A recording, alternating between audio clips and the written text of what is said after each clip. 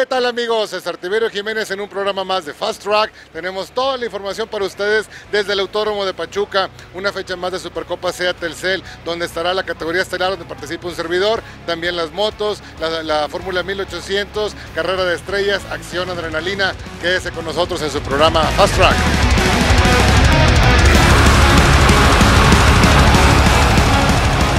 Cuarta fecha del campeonato FedEx presenta la Supercopa Telcel por Fox Sports 3 llega al autódromo del Moisés Solana en Pachuca Hidalgo. La emoción de los Fórmula 1800, la Mex Bike y por supuesto la categoría estelar, los MTCC, se enfrentan a la mitad de la temporada 2014.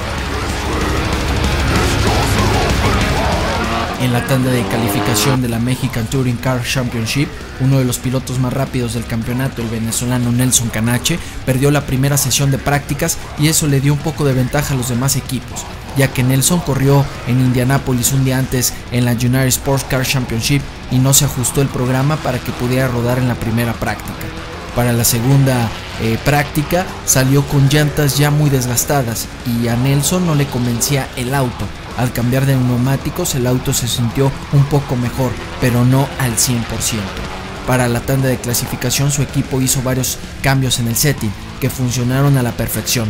Nelson se llevó la pole con récord de pista en 51 segundos, punto 534 milésimas mientras que Michel Jordan Jr. de Cementos Fortaleza Born se ubica en el segundo puesto de la parrilla con un tiempo de 51 segundos, punto 662 milésimas, aunque en la primera ventana de calificación Michel tenía el mejor tiempo.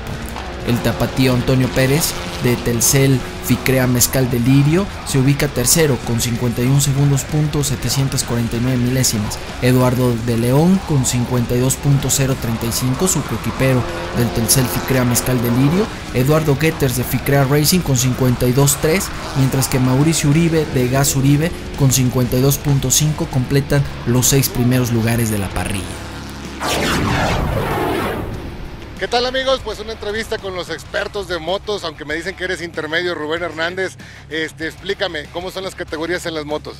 Bueno, en este campeonato, lo que es la Copa SEAT, eh, nosotros estamos corriendo tres categorías juntos, que es expertos SS1, SS2 e intermedios. Ok, todos en- con motor 600 centímetros. Así es, todos con motor 600 y es el mismo cilindraje todos. Ok, ahora tú estás en medio, ya pasaste el primer nivel, ¿cómo está ahí la competitividad? Porque pues yo veo los agarrones que se dan, llanta con llanta y todos acostados.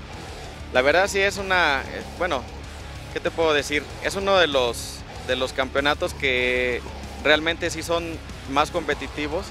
A nosotros los pilotos intermedios pues sí nos ayuda mucho a jalarnos más con los expertos, aprendemos mucho más de ellos, eh, el trazo, eh, la forma de, de, pues no sé, Las en- mañas, los la, la maña, los secretos y además de que pues también este, pues, cómo, cómo hacer un mejor trazado, ¿no? Claro, ¿cuántos años tienes como piloto? Como piloto tengo seis años. Ok, ya no estás tan novato, ya, ya vas para experto corriendo. Traes un patrocinador, platícame ¿qué, que a qué se dedica esta empresa. Bueno, Ruger, Ruger es un es el nombre de Rubén Hernández. Este, desafortunadamente pues no tenemos un patrocinio. Venimos con el apoyo de los amigos, de, de- de la gente de, de Guerrero, porque yo soy, yo soy de Chilpancingo Guerrero. ¿Dónde he escuchado eso? Corres como yo también. Oye, bueno, entonces, terminamos a la carrera, tú vas a mi tráiler. Ah, ¿verdad? Ah, cierto. Este, ¿qué te iba a decir? Esto es una pista complicada, el pavimento no está liso como México, Aguascalientes, Pachuca, Monterrey, perdón. Pachuca tiene esa, pues, bordos. ¿Cómo lo haces en las motos? ¿Pones sus- suspensión suave, manejar muy fino? El manejo es mucho más fino. Hay que ser muy cuidadosos, no hay que perder el trazado. Aquí en esta pista nosotros pierdes el trazo y pues con el riesgo de darte un, un buen, un buen golpe, ¿no? Sí, porque como quiera andan bastante rápido. Ahora, ¿cuántas motos van a arrancar? Somos, eh, si no mal recuerdo, creo que somos 24 motos. Suficientes para un buen espectáculo. ¿Qué esperamos de ti, de ti Rubén? ¿Qué- ¿Cómo va a estar esta carrera de hoy, que pues es una fecha puntuable? La verdad, eh, me siento muy bien preparado. Este, yo espero igual terminar como voy a clasificar. Estoy clasificando en primer lugar. Ándale. Este, voy en tercero del, del- del campeonato. En tercero, ¿por qué? Porque perdí una fecha. Se, se empalmó con otro campeonato y opté por, por estar en el, en el Racing Bike. Pero pues vamos muy bien. Perfecto. terminar en primer lugar. Perdón. Qué bueno, porque aún con una fecha estás todavía en los líderes. Entonces tienes todo para seguir sumando los puntos de adelante. Oye, ¿te gusta la Fórmula 1? ¿Quién le vas en la Fórmula 1? Híjoles, pues eh, ando, ando. 3, 2, 1. Ok, el MotoGP. MotoGP, pues eh, Valentino. Ya está viejito. No, pero pues los viejitos son los meros buenos, ¿no? Tengo 33 y pues ya voy para allá. Ah, bueno, pues muchas gracias por estar con nosotros. Felicidades, lo mejor de las suertes. Si quieres ir al pit, ya sabes que ahí tengo comida, refrescos, tacos, garnachas, de todo. Amigos de Fast Track, quédense con nosotros porque siguen más entrevistas y las emociones de todas las carreras aquí en su programa Fast Track.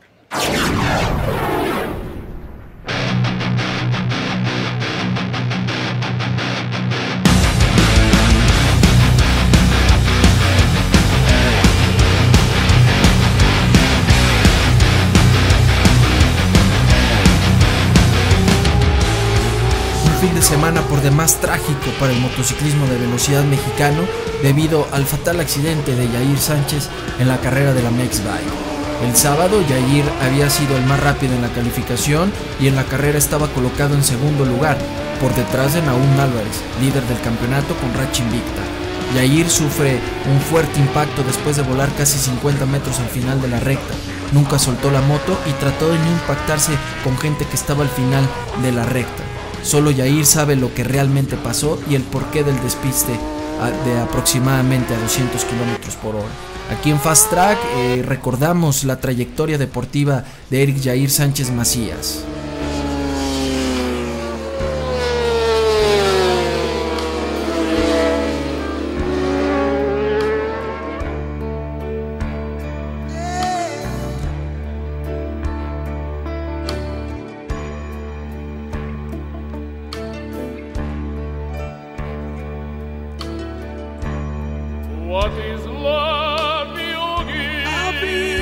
Inició su vida deportiva en el motociclismo nacional de velocidad mexicano en el 2008 dentro del Circuito Nacional de Campeones Superbike y el Campeonato Moto Pro en la categoría infantil, donde su padre, Eric Sánchez Flores, también competía en la categoría Super Sport Intermedios. En el 2010, Yair compitió en el viejo continente en la cuna de campeones en España, donde dio un salto mayúsculo en su manejo, para lo que sería su estreno con motos de 600 centímetros cúbicos en el Superbike, en donde quedó subcampeón en esa misma temporada. Para el 2011 logró el campeonato de la competitiva categoría Super Sport en la Copa Pirelli México. 2012 arrancó con el pie derecho el Campeonato Regional Tejano de Velocidad, el CMRA, en donde obtuvo 6 victorias de 9 carreras y el subcampeonato en la clase Rocky Expert.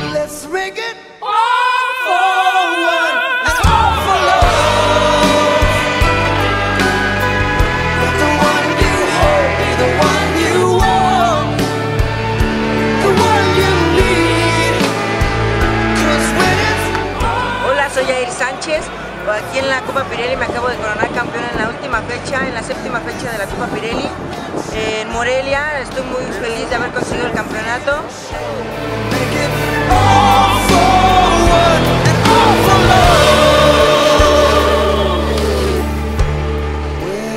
Temporada 2013, su carrera deportiva llegaba al campeonato número uno de los Estados Unidos, el AMA Pro Road Racing, logrando en la sexta fecha en Miller Motorsports Park, el 9 de agosto, su mejor resultado en su primer año que competía, logrando un cuarto lugar convirtiéndose en el mejor resultado de un piloto mexicano.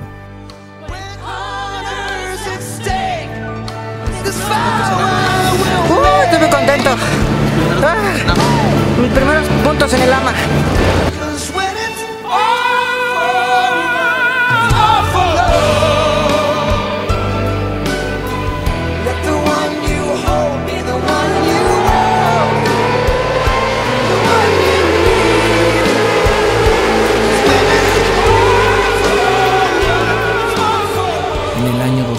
David Ortega obtuvo un quinto puesto en Laguna Seca en la clase Super Stock. Hasta entonces había sido el mejor resultado de un piloto mexicano. En ese mismo año, Yair conquistó el campeonato del Racing Bike Capital en la categoría Super Sport Expertos. La temporada 2014 no podía pintar mejor para el joven talento de 18 años de edad. Ya iniciado el campeonato AMA Pro Road Racing, el equipo de primer nivel Min Motorsport le brindaba el apoyo para que corriera con sus colores. Yair y su papá de inmediato aceptaron, Yair compitió con ellos en tres fechas en el 2014, Road America, Barber y Laguna Seca. En el autódromo todos corremos por un premio que se desvanece y solo uno lo obtiene. En la carrera de la fe, Dios ha vencido y ganado en la cruz y regala toda su victoria que no se desvanece, sino que permanece para la vida eterna. Hasta pronto, Ryder, amigo, hermano, Eric Jair Sánchez Macías, gas a fondo siempre.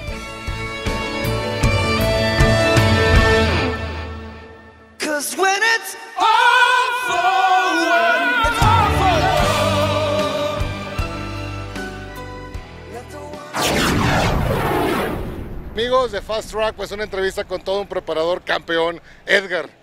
No, voy a decir tu apodo en el medio, mejor decimos nada más Edgar. Hasta para acá, Edgar, porque ahora me mandaron con cable corto. Eh, estaba tu carro en el dinamómetro, ya estamos por arrancar la carrera, platícanos cómo está el equipo.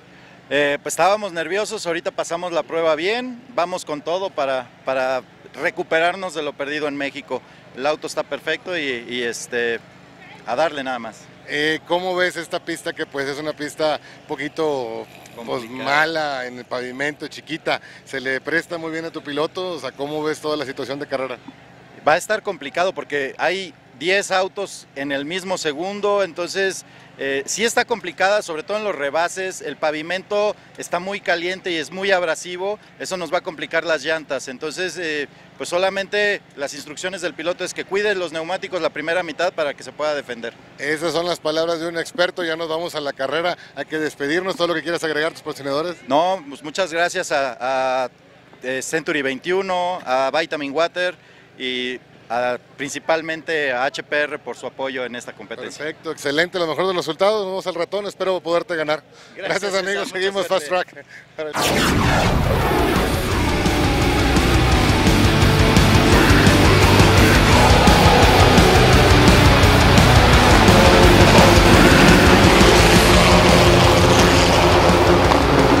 Para la primera carrera pusieron presiones en los neumáticos del Poleman Nelson Canache un poco más bajas de lo normal debido a la temperatura de la pista, pero esto resultó en un auto muy inestable en las primeras vueltas, sufriendo un contacto con Michel Jordan Jr. El auto del venezolano tuvo que abandonar la carrera debido a que se rompió una manguera. El contacto de los dos pilotos más rápidos en la calificación y los favoritos para la victoria dejó el paso libre para Antonio Pérez, quien dominaría la carrera a placer seguido de su coequipero Eduardo de León y de Eduardo Getters, quien volvió a visitar el podio en la tercera posición en esta primera carrera después de un cerrado duelo con Michel Jordan Jr. Mauricio Uribe, Luis Felipe Montaño, que corrió en lugar de Santos Sanela Jr. y Franco Sanela, completaron el sexteto de punta en la primera competencia de la Mexican Touring Car Championship.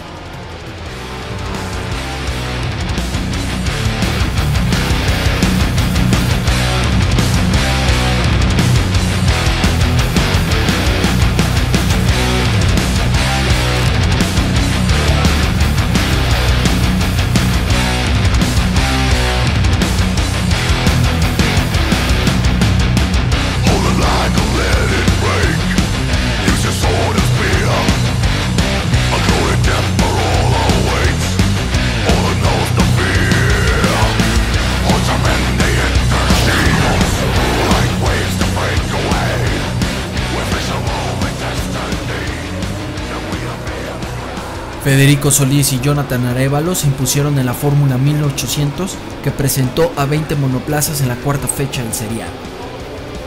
El piloto del monoplaza número 35, el zacatecano Federico Solís, logró imponerse en la primera competencia con una diferencia de 0.726 milésimas sobre Jonathan Arevalo, dejando en la tercera posición a Jorge Pérez, que fue seguido por Francisco Pérez, Christopher Ugalde y Diego Ruiz completaron los seis primeros puestos.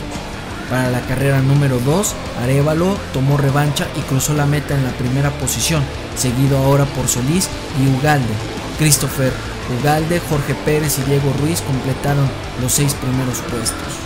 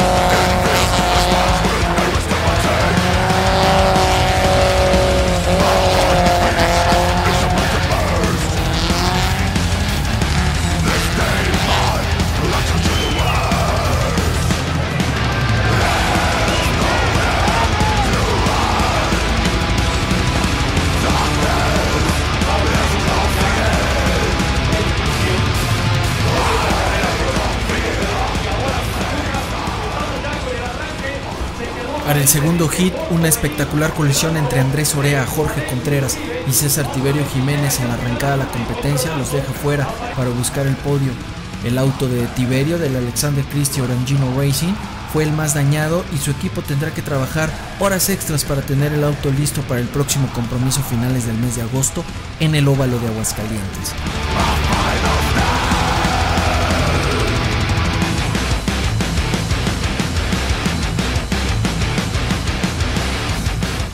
Michel Jordan Jr. entabló un duelo que puso de pie a la afición con Eduardo de León y más allá de la mitad de la competencia el piloto de Cementos Fortaleza Born logró rebasarlo e irse en busca de la victoria. El venezolano Canache llegó tercero después de haber reparado su auto teniendo que arrancar desde el último puesto. El top 5 eh, lo completó eh, Franco Zanella y Luis Felipe Montaño autos del equipo Z Motors Autoforum Prendamés que tuvieron algunos problemas de potencia en las prácticas libres, lo que les afectó, aunque para las competencias se mejoró el setting, gracias a ello el equipo está peleando el top 5 en el estado del campeonato. Al reinicio de la carrera, Bolaños comanda el pelotón de punta, pero Luis Felipe Montaño del Z Motors Autoforum Prendamex, quien venía reemplazando a Santos Anela Jr. por compromiso en la universidad, lo presionaba al máximo hasta conseguir el rebase.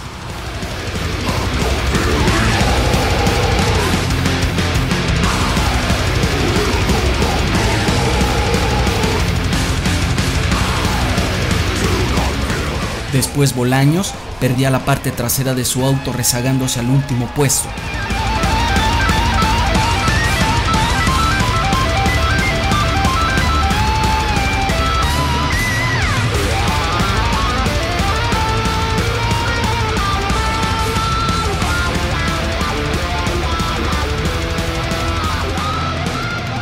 Eduardo Getters acechaba sin compasión a Montaño por el primer lugar de la carrera, seguido de Eduardo de León, Toño Pérez, Franco Zanella y un conservador Michel Jordain, quien venía recuperando terreno desde el décimo puesto y que se guardaba lo mejor para el tramo final de la competencia.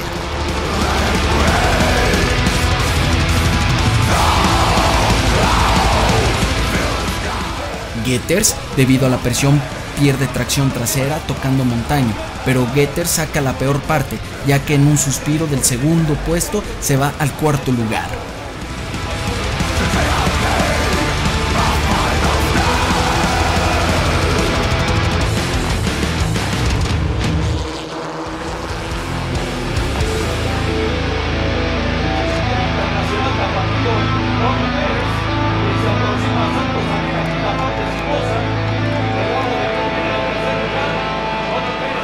Luis Felipe Montaño era presionado por Antonio Pérez, pero un despiste buscando el primer lugar lo iba a alejar de la victoria al piloto tapatío.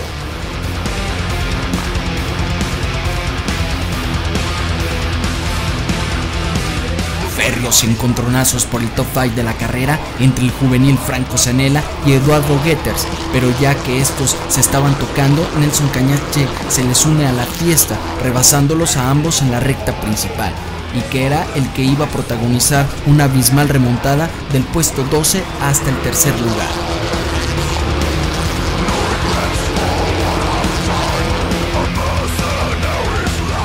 En un abrir y cerrar de ojos, Montaño pierde la punta de la carrera a mandos de Eduardo de León y de Michel Jordain.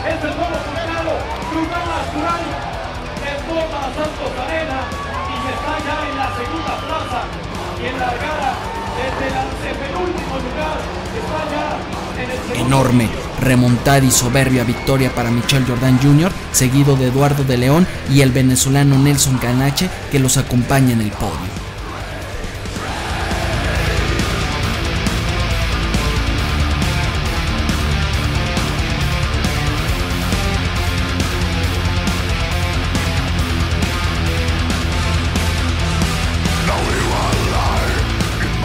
Estado del campeonato de la Mexican Touring Car Championship. Ubica a Eduardo de León con el liderato momentáneo, 655 unidades, seguido por su coequipero Antonio Pérez. Michel Jordan está ahí con 644, Nelson Canache 623, principalmente estos cuatro primeros lugares muy muy apretados, sin duda alguna, entre estos cuatro va a salir el próximo campeón. Franco Zanella eh, metiéndose ahí el novato del año indudablemente para este joven talento del automovilismo deportivo en nuestro país con el quinto puesto en el estado del campeonato. Mientras que en la Mex Bike, Naum Álvarez con racha invicta, eh, cuatro carreras, cuatro victorias, lo ubica con el liderato del campeonato. Alain Escobedo ahí a tan solo 30 puntos, Ulises Escobedo con 256 unidades. También bueno, ahí entre estos tres pilotos va a estar el próximo campeón, aunque Carlos Curi está colocado cuarto. Recordemos que el año pasado él estuvo peleando el campeonato con Sócrates Juliarás. Y Emilio Zamudio, el rabioso Zamudio de la Killer Racing Team, se mete al top 5 en el estado del campeonato. Mientras que en la Fórmula 1800, Federico Solís está con el liderato, 314 unidades, seguido por Rubén Carrillo, Christopher Ugalde, Jonathan Arevalo y Enrique Reina.